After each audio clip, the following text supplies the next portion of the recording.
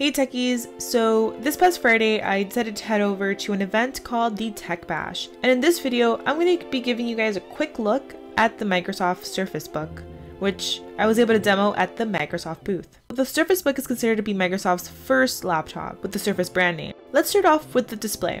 It comes in at 13 and a half inches and a 3x2 aspect ratio, weighing in at 3.34 pounds. This base model that you're seeing right now of the Surface Book will run you $14.99 and the high-end model comes in at $31.99. As for specs, the Surface Book holds an SSD. For memory options, there is an 8 or 16GB RAM offered. And lastly, the graphics featured are Intel's Core i5 processor and a Core i7. A really cool feature that actually comes part of Windows Hello, it has a facial detection software, which allows for top-notch security when logging in. Let's move along to the cameras. So on the front, you get a 5 megapixel camera and an 8 megapixel rear facing camera with autofocus and with 1080p HD video recording. As for battery life, the all-in-one unit, laptop and keyboard attached gives you about 12 hours of running time.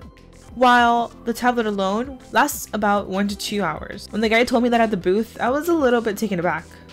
1 to 2 hours is extremely low. The keyboard is extremely low profile and it's easy to type on. It comes with a backlight for at night typing. The big thing about this laptop is that it has a fulcrum hinge, which allows for different viewing angles. The design of the hinge truly amazed me as it is extremely well designed. Also the screen can be inserted front or back and then flipped over for comfortable tableting. This is really nice because it allows you to be more flexible with your laptop. On the side we actually got a couple ports. You have two USB ports, an SD card slot, as well as a mini display port.